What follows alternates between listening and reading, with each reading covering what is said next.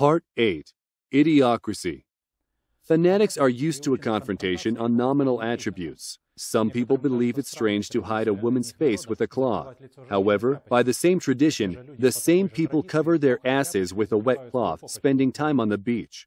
The hen allows its kids to be taken away and itself to be killed by the one who provides social security. Hunters kill independent birds if they find them.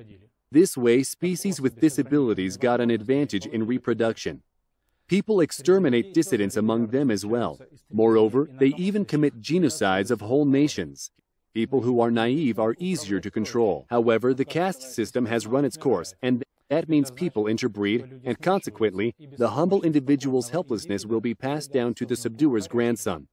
This process perspective is shown in the film Idiocracy. Any service which has no alternative once created strives to simplify its operation and thus loses its efficiency.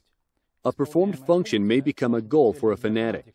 For a firmly established agency, the function becomes a means while its goal is to work easier and control more. This way, it's more convenient for a security service to protect authorities when other people don't possess weaponry and act as bait to capture dangerous individuals.